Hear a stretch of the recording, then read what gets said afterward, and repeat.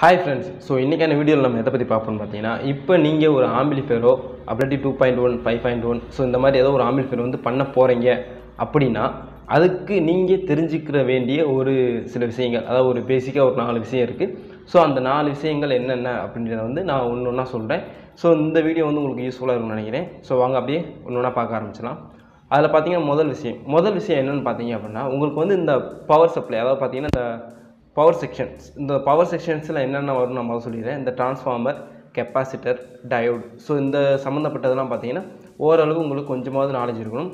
ஏதோ கொஞ்சம் நாலேஜ் இருந்தால் தான் பார்த்தீங்கன்னா இந்த டிரான்ஸ்ஃபார்மர்னால் என்ன? இந்த டிரான்ஸ்ஃபார்மரில் என்னென்ன வேரியண்ட்லாம் இருக்குது இந்த கெப்பாசிட்டர்னால் என்ன? இந்த கெப்பாசிட்டரில் என்னென்ன வேரியண்ட்லாம் இருக்குது இந்த டயோடுனா என்ன? இந்த டயோடில் என்னென்ன வேரியன்ட் இருக்குது எத்தனை அம்ச டயோட் இருக்குது ஸோ இதெல்லாம் பற்றி கொஞ்சம் தெரிஞ்சுக்கிட்டீங்க அப்படின்னா இந்த பவர் செக்ஷன் இருக்கு இல்லையா?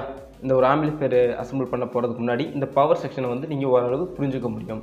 இப்போ நான் எக்ஸாம்பிள் சொல்கிறேன் இப்போ வந்து நான் வந்து twenty four zero twenty four transformer எடுக்கிறேன். ஸோ அதுக்கு பார்த்தீங்கன்னா ஐம்பது வோல்டு ஆறாயிரம் யூஎஃப் இல்லாட்டி ஏழாயிரம் யூஎஃப் இந்த இது வச்சுக்கிறேன். அப்படின்ட்டு ஒரு சில பேர் பத்தாயிரம் யூஎஃப்லாம் போடுவாங்க. அது பார்த்தீங்கன்னா யூஎஃப் நீங்கள் கூட்டினீங்கன்னா பேக்கப் பரிமாறிக்கும். அதே மாதிரி பார்த்தீங்கன்னா அந்த யூஎஃப் போடுறதுக்கான ஒரு கால்குலேஷன் இருக்குது ஸோ கெப்பாசிட்டர் வந்து எப்படி எந்த டிரான்ஸ்ஃபார்மருக்கு எவ்வளோ போடணும்னு சொல்லிட்டு ஒரு கால்குலேஷன் இருக்குது அந்த வீடியோ நம்ம ஆல்ரெடி போட்டிருப்போம். யாரும் போய் பார்க்காம இருந்தீங்கன்னா போய் பார்த்துக்கோங்க. ஸோ அதுபடி அந்த கால்குலேஷன்ஸ் படி பார்த்தீங்கன்னா இப்போ காமனாக யூஸ் பண்ணுறதை நான் சொல்கிறேன் அந்த கால்குலேஷன் படி தான் நம்ம யூஸ் பண்ணணும். அந்த படி பார்த்தீங்கன்னா கெப்பாசிட்டர் போடுவாங்க. அதே மாதிரி பார்த்தீங்கன்னா டயோடும் பார்த்தீங்கன்னா எத்தனை ஆம்ஸ் ட்ரான்ஸ்ஃபார்மரோ அதுக்கேற்ற மாதிரி டயோடும் போடுவாங்க. ஸோ இந்த இதெல்லாம் கொஞ்சம் ஓரளவு நீங்கள் தெரிஞ்சுக்கிட்டீங்க அப்படின்னா இந்த பவர் செக்ஷன் இருக்கும் இல்லையா? இந்த ஆம்பிள்ஃபேருக்கான பவர் செக்ஷன்ஸ் ஸோ இந்த பவர் செக்ஷன்ஸை வந்து நீங்கள் ஓரளவு புரிஞ்சுக்கலாம். அதே மாதிரி பார்த்தீங்கன்னா ஏசி கரண்ட்னா என்ன? டிசி கரண்ட்னா என்ன? இதையும் நீங்கள் கொஞ்சம் தெரிஞ்சுக்கணும்.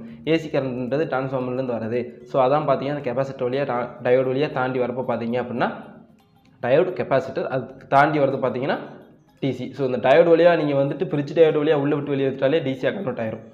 ஸோ இந்த இதெல்லாம் கொஞ்சம் கொஞ்சம் தெரிஞ்சுக்கிட்டீங்க அப்படின்னா உங்களுக்கு இந்த பவர் சப்ளை அதாவது பார்த்தீங்கன்னா இந்த பவர் சப்ளை வச்சு வரக்கூடிய செக்ஷன்ஸ் வந்து உங்களுக்கு பிடிபட்டுரும். நெக்ஸ்ட் பார்த்தீங்க அப்படின்னா உங்களுக்கு இந்த கனெக்ஷன்ஸ் இந்த கனெக்ஷன்ஸ் அப்படின்றது பார்த்தீங்கன்னா எதுக்குரியதுன்னு பார்த்தீங்கன்னா இந்த வால்யூம் கண்ட்ரோல் இந்த வால்யூம் கண்ட்ரோலுக்கான கனெக்ஷன்ஸ் வந்து எப்படி கொடுக்கணும் அப்படின்றது வந்து உங்களுக்கு கொஞ்சமாக தெரிஞ்சுக்கணும். ஏன்னா எங்கே இன்புட் கொடுக்கணும் எங்கே கிரவுண்டு கொடுக்கணும் எங்கே அவுட்புட் எடுக்கணும் அப்படின்றது வந்து கொஞ்சம் தெரிஞ்சிருந்தால் தான் பார்த்தீங்கன்னா நீங்கள் கரெக்டாக கொடுப்பீங்க. ஏதாவது மாற்றி கொடுத்தீங்க அப்படின்னா உங்களுக்கு வால்யூம் கண்ட்ரோலில் ப்ராப்ளம் வர வாய்ப்பு இருக்குது மூணாவது பார்த்தீங்க அப்படின்னா ஃப்ரீ போர்டு ஸோ ஃப்ரீ போர்டுன்றது ஒன்றும் இல்லை பேஸ்டபிள் போர்டு ஆகட்டும் surrounding board centre board sub board so இதெல்லாம் பார்த்தீங்கன்னா என்ன பண்ணும் அப்படின்னு பார்த்தீங்கன்னா உங்களோட யூஎஸ்பி போர்டு இருக்கும் இல்லையா? யூஎஸ்பி போர்டுனா அதுவும் என்ன சொல்லி இந்த ப்ளூடூத் போர்டு தான் யூஎஸ்பி போர்டு இப்போ நீங்கள் வந்து இன்புட் அதுலேருந்து தான் எடுக்கணும் கிடையாது. ஒரு மைக்கிலேருந்து இன்புட் எடுக்கலாம். ஒரு மைக்கை வச்சு ரைட் லெஃப்ட்டு இன்புட் கொடுக்கலாம். ஸோ இன்புட் வே வந்து பார்த்திங்கன்னா நிறையாவே இருக்கும். அந்த இன்புட் வேவை இந்த ப்ரீ போர்டில் வந்து கொடுக்குறப்ப நமக்கு காமனாக கிடைக்கிற இன்புட் என்னென்னு பார்த்தீங்க அப்படின்னா ரைட் லெஃப்ட்டாக மட்டும்தான் இருக்கும். அந்த ரைட் லெஃப்ட்டை இந்த ப்ரீ போர்டு இருக்கும் இல்லையா? ஸோ அது ஃபைவ் பாயிண்ட் ஒன் ஆகட்டும் டூ பாயிண்ட் ஒன் ஆகட்டும் இதுக்கான ப்ரீ போர்டு ஸோ இப்போ வந்து பார்த்தீங்கன்னா டூ பாயிண்ட் ஒன்னா ரைட் லெஃப்ட்டு ஒரு சப்பு அப்போ சப்பு போர்டு மட்டும் எக்ஸ்ட்ரா வரும். சப்புனாலே உங்களுக்கு என்னென்ன தெரிஞ்சிருக்கும்? அடி உழுகுது இதெல்லாம் பிரித்து தரும் இல்லையா? ஸோ இந்த போர்டு இந்த போர்டுக்கான கனெக்ஷன்ஸ் வந்து உங்களுக்கு கம்பல்சரி தெரிஞ்சுக்கணும் ஏன்னா நீங்கள் வந்து கடையில் போய் வந்துட்டு இப்போ வந்து ஃப்ரீ போர்டு ஏதாவது ஒன்று வாங்குறீங்க அப்படின்னா நிறையா ஃப்ரீ போர்டு இருக்குது ஸோ நிறையா கம்பெனிஸ் வந்து நிறையா ஃப்ரீ போர்டு வந்து விடுறாங்க. அந்த ஃப்ரீ போர்டில் எங்கே கனெக்ஷன்ஸ் கொடுக்குறோம் எங்கே கனெக்ஷன்ஸ் எடுக்கணும் எங்கே பவர் சப்ளை கொடுக்குறோம் அப்படின்றது வந்து நீங்கள் கொஞ்சம் கவனித்து வாங்கணும். ஏனென்றால் ஒரு சில ஃப்ரீ போலில் வந்துட்டு நமக்கே வந்து கொஞ்சம் குழப்பம். நீ இதில் எங்கடா வந்து இன்புட் கொடுக்குறது அப்படின்ற மாதிரி ஒரு சில குழப்பம். ஏன்னா ஒரு சில நேரம் இன்ஃபர்மேஷன் கொடுத்துக்கவே மாட்டாங்க. ஒரு டாட் மட்டும்தான் இருக்கும். அந்த டாட்டே எங்கே இருக்கணும் அப்படின்னு பார்த்தீங்கன்னா அது நம்ம கொஞ்சம் தேடி பார்த்து தான் கிடைக்கும். ஏன்னா பின்னாடி வந்து அப்படி தான் இருக்கும். ஸோ அதனால் பார்த்தீங்கன்னா இதெல்லாம் கொஞ்சம் ஓரளவு தெரிஞ்சுக்கிட்டீங்க அப்படின்னா உங்களுக்கு வந்து இந்த கனெக்ஷன்ஸில் வந்து எந்த ஒரு ப்ராப்ளம் வராது. இது வந்து இந்த ப்ரீ ஃபோர்ட் கனெக்ஷன்ஸில் வரக்கூடிய ஒரு சின்ன சின்ன சிக்கல். ஏன்னா உங்களுக்கால எங்கனக்குள்ள இன்புட் கொடுக்கணும் ஏன்னா அவுட்புட் எடுக்கணும்னு ஒரு சில நேரம் மென்ஷன் பண்ணியிருப்பாங்க. ஒரு சில போர்டில் வந்து அந்த மென்ஷனும் இருக்காது. இது பார்த்தீங்கன்னா இந்த போர்டை காட்டிலும் ஐஸ் போர்டில் நிறையாவே வரும். ஸோ நான் முதல்ல இந்த போட்டை சொல்லிடுறேன். ஸோ இந்த போர்டில் உள்ள கனெக்ஷன்ஸ் இந்த கனெக்ஷன்ஸ்லாம் பார்த்தீங்கன்னா எங்கே இன்புட் எடுக்கணும் எங்கே இன்புட் கொடுக்கணும் எங்கே பவர் சப்ளை கொடுக்கணுன்றதை நீங்கள் கரெக்டாக கொஞ்சம் தெரிஞ்சு வச்சுக்கணும். ஸோ இது தெரிஞ்சுக்கிட்டீங்க அப்படின்னா உங்களுக்கு ஒன்றுமே ஹெல்ப்பாக இருக்கும்.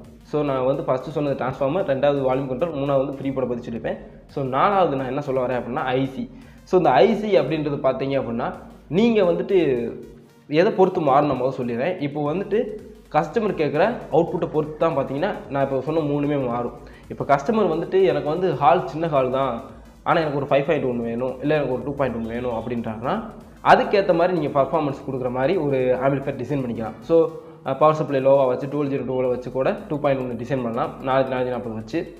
அதே மாதிரி பார்த்தீங்க அப்படின்னா எனக்கு அந்த சின்ன ஹால்லையும் அடி செம்மையாக விழுகணும் அப்படின்னா நீங்கள் twenty four zero twenty four IC இது ட்ரான்ஸ்ஃபார்ம் வச்சு அதுக்கேற்ற மாதிரி பவர் சப்ளை கொடுத்து அதுக்கேற்ற மாதிரி ஐசி போட்டு இது பண்ணலாம். ஸோ இந்த ஐசின்றது எங்கே வந்து மாறுபடும் பார்த்தீங்க அப்படின்னா உங்களோட ஸ்பீக்கரோட அவுட்டை பொறுத்து தான் மாறுபடும். ஸோ உங்கள் கஸ்டமர் கேட்குற அவுட்புட்டை பொறுத்து தான் வந்து இங்கே ஐசி நீங்கள் செலக்ட் பண்ணுற மாதிரி இருக்கும். இப்போ கஸ்டமர் வந்து அடி நல்லா விழுகணும் எனக்கு வந்து சவுண்டு கிளியணும் அப்படின்னு அந்த அளவு ரொம்ப எதிர்பார்க்குறாரு அப்படின்னா நீங்கள் வந்து ஹை லெவல் ஐசி போகிற மாதிரி இருக்கும். எனக்கு வந்து ஓரளவு அடி விழுந்தாலே போதும்ப்பா. எனக்கு இந்த சின்ன வீடு தான். இந்த இதில் இந்த அளவு அடி விழுந்தாலே போதும் அப்படின்றாருன்னா நீங்கள் அதுக்கேற்ற மாதிரி லோ லெவலில் வர மாதிரி இருக்கும். ஸோ இது எதுவுமே வந்து பார்த்தீங்கன்னா கஸ்டமரோட அவுட்புட்டை பொறுத்து. ஸோ நம்ம லோ லெவல்லேருந்து போகிறோம் அப்படின்னா நான் சின்ன லெவல்லேருந்தே வந்து பார்த்திங்கன்னா நம்ம சேனலில் வீடியோ போட்டிருக்கோம். ஒரு ஃபைவ் வேர்ட்லேருந்து டூ வேர்ட்லேருந்து ஐசி ஃபார்ம் ஐசி ஆகட்டும் அது டுவெல் வோல்ட் ஃபைவ் வோல்ட் ஐசிலாம் வச்சு நிறைய வீடியோ போட்டிருப்போம். அதெல்லாம் சின்ன சின்ன லெவல் ஐசி சின்ன சின்ன ஸ்பீக்கர் இருக்குது அது தாண்டி நாலாயிரத்தி நானூற்றி நாற்பது அறுபத்தி ரெண்டு எண்பத்தி மூணு ஸோ அது தாண்டி அப்படியே போகிறப்போ பார்த்தீங்கன்னா எஸ்டிகே மாஸ்பட் ஸோ இந்த மாதிரி பார்த்தீங்கன்னா ஹை லெவலில் போய்கிட்டே இருக்கும். ஸோ ஹை லெவலில் மோஸ்ட்லி யூஸ் பண்ணுறது பார்த்தீங்க அப்படின்னா எஸ்டிகே மாஸ்பட் வந்து பார்த்தீங்கன்னா அதிகமாக யூஸ் பண்ணுவாங்க.